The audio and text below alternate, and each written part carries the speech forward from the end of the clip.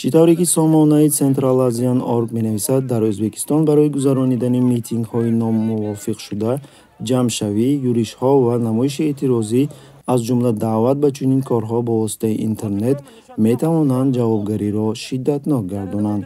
Чӣ тавре ки иттилоъ дода шудааст меъёри мазкур аз ҷониби лоиҳаи қонун дар бораи даровардани тағйироту иловаҳо ба кодекси ҷиноии ҷумҳурии o'zbekiston ва кодекси ҷумҳурии o'zbekiston оиди ҷавобгарии маъмурӣ пешбинӣ карда шудааст. Assalomu alaykum hurmatli prezident mana bizni ahvolimiz mana дар санад муайян карда шудааст ки даъват ба намоиши эътирозӣ дар сомонаҳои иҷтимоӣ мисли гузаронидани митинги номувофиқшуда ҷиноят ба ҳисоб меравад.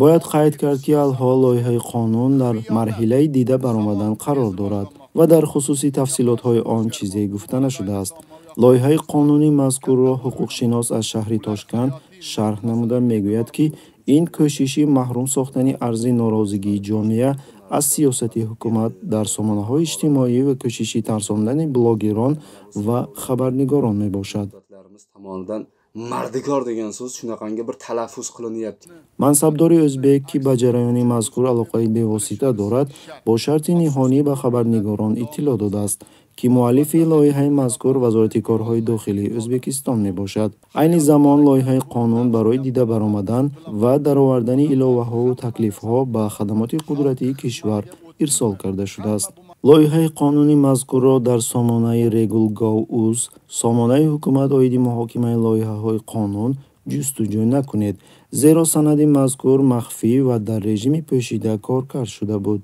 Лоиҳаи мазкур барои муҳокимаи оммавӣ пешниҳод карда намешавад.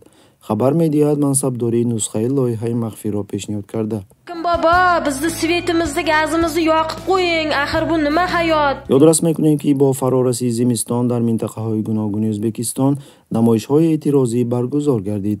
Аҳолӣ бо талаби ҳалли муаммои қатъи гази табиӣ ва қувваи барқ ба кӯчаҳо баромаданд. Mana o'tin pechka yoqilyapti hamma uyda. Таҳлилгарон бар он ақидаанд ки эҳтимол намоишҳои мазкур режими ҳукмронро водор сохтааст ки барои дар оянда пешгирии чунин намоишҳо чораҳои ҷиддӣ биандешад o'zingiz guvoh bo'lib turganingizdek mana shu deyarli har kuni ijtimoiy tarmoqlarda qaysidir rahbarning faoliyati bilan bog'liq shov shuvli xabar tarqalyapti.